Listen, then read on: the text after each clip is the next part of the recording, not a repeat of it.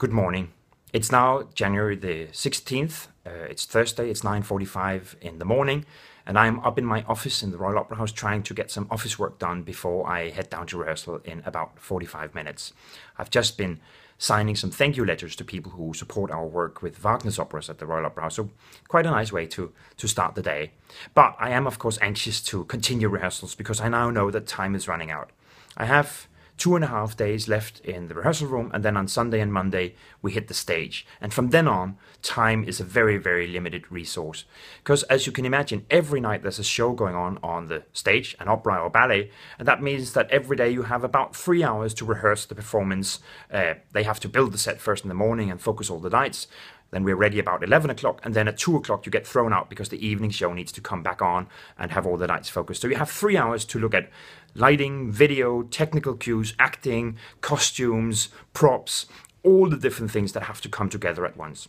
This means that the more things I can settle this week, the better. And that also means that this week is a very strange mix of a myriad of practical details. Remember where to put the props, how to use the props. Remember to come around the corner just at this moment. How can Ottavio hide a gun in his costume?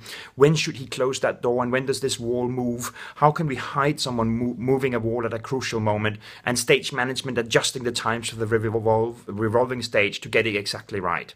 All this might seem like small details, but there are so many of these details to remember and to remember to get it all uh, put into action. And together they make up a very essential thing, which is the whole flow of the show. But the flow of the show is also, of course, about the big picture. And so the difficult thing this week is to try and step back and try and get an idea about what kind of show, what kind of story are we telling, how are the characters developing through the show.